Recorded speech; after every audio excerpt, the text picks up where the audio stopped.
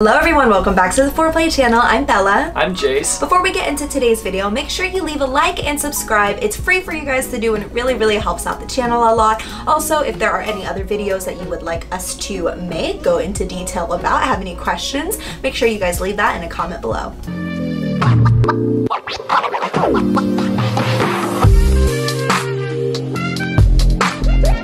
So today's video is, it's gonna be a multiple part series that we've come up with. It is five tips for a great time at the Swingers Club. We feel like over the years we've accumulated a lot of different things that have really helped us out and made our times way more fun at lifestyle clubs. This will be part one of this series and so we are going to give you five tips for you to have a great time at the Swingers Club. The first tip is to arrive early, especially if you're new to the club. It's your first time there and you want to get a tour, maybe get your groundings and everything. We recommend to get there early. You can get there right when the club opens. It depends on the each club. Usually it's around 8 o'clock or 9 o'clock depending on the club. If there's like a Trapeze in Atlanta and Florida, they do have dinner there and so you can get there early, make it a nice date night with just you and your partner, get some good food, find your groundings, set your drinks up wherever you want to sit and so then you are set up and ready to go. We really like getting there a little bit early, especially when we are newer because it lets you really find your groundings and really feel comfortable because if you walk into a club that's full of people and it's your first time there, it can feel very overwhelming. But when the club's first open, it's usually pretty quiet, not a lot of people there. So you can have a drink, kind of get acclimated to the, the new environment. And so getting there early if you're new is definitely a pro tip.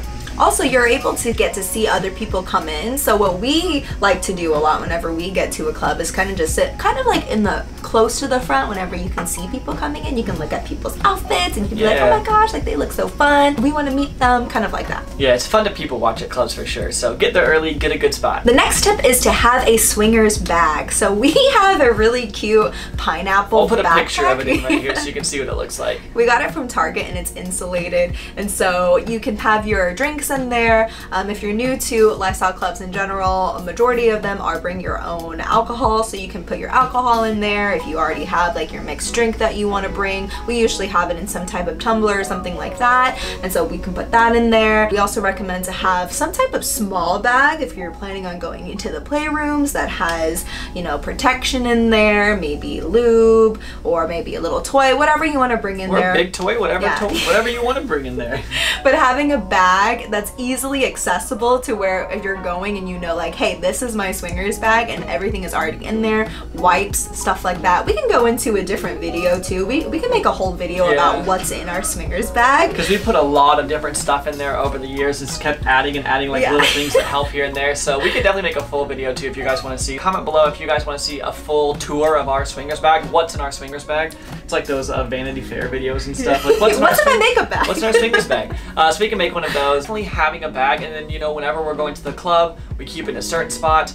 We just move what we need, we grab our bag, we're ready to go, and it has everything, and that way you never forget something. You're like, oh no, I forgot my lube or oh no I forgot you always have it and so it just makes it really convenient especially if you know maybe it takes a little bit longer to get your outfit ready that night and you're leaving late but you have your bag convenient, so definitely a pro tip there too. The next tip is to wear something that makes you feel sexy and confident, but also somewhat comfortable. So the worst thing I feel like you can do is go and then wear like really, really cute but uncomfortable shoes because it's not gonna make the night very fun, if, especially if you wanna dance. You don't wanna be trying to find a place to sit all the time just because of your shoes. I promise, or even if you wanna bring your really cute shoes, wear them for a little bit, get a picture in them, and then change into something more comfortable, you can definitely do that. We also have friends that will bring multiple different outfits, especially the women, maybe one that's a little bit more revealing, less revealing, like different levels basically, because you never know how the night's gonna go. Maybe everyone is dressing super sexy that night, or maybe people are being a little bit more reserved that night. And so having multiple different outfits, if you're a little bit uncomfortable, can also make you feel way more confident because then you have different choices and you're gonna know, hey, I'm feeling good in this, but maybe later in the night I can change to this one. You can always change back. So having multiple different outfits I think can make it a little bit more comfortable, especially when you're newer, so you can make sure you're feeling confident in whatever the environment has that night. Don't think too much into it though. The thing is, wear whatever you want to wear. You're gonna walk into a club, you're gonna see, like if you're a woman, you're gonna see women in just club wear, cute dresses, you're gonna see women in lingerie. Do not feel like you have to be changing into lingerie at the end of the night. It's just whatever makes you feel comfortable. But if you want to have those options, you can definitely do that. And I can say from experience, I just end up wearing the same shoes every time that I go that are just these like booties that are comfortable and they're just black and they not don't necessarily go with every outfit but it has never strayed people away from wanting to be our friend or anything. So take it from experience. I just think be comfortable and cute rather than wearing something really, really cute but really, really uncomfortable.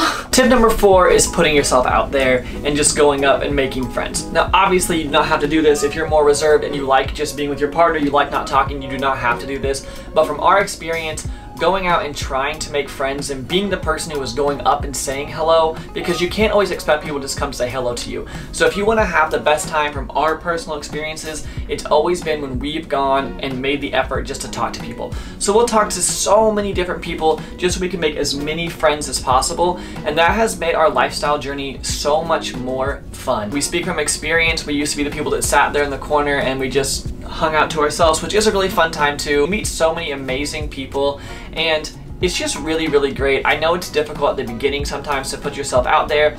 If you watch our videos before the Star podcast, I'm sure you've heard me say this, but I always say one of the best things I've ever heard if you're more of a shy person is to walk in, you know, whether it's at a club or whatever, and say hello to the first person you see just to break the ice. You can say, I like your shirt, I like your shoes, whatever it is, and you have to do it to the very first person. And the more and more you do that, the easier and easier it gets to talk to people because once you break the ice once, it just gets easier and easier and easier with every person. So that will make your journey way more fun and way better in our opinion. And the more people that you talk to, the more groups of friends that you're gonna have. So maybe you talk to somebody who's not with a group of friends, but they invite you and you become part of their group of friends. And so then you can make a lot of friends that way too. And I feel like that has been, that's something that I wish we would have done more since the beginning. We've been in it for eight years now. It's not something we started maybe only until about a year ago. So the fifth tip for this video is to go onto the website and read, you know, the dress code and all the rules that are going on at that club. Most of them are going to be pretty similar and, you know, you should be okay to get in with most things, but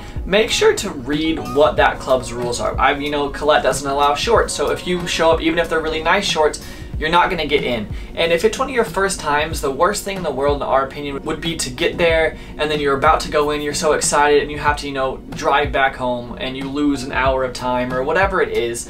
So and different clubs have different rules, so make sure you're just aware of that club's rules, that club's dress code, so that you are following all the rules, and that way whenever you get there, you don't have to worry about if you're gonna get in or not or anything like that.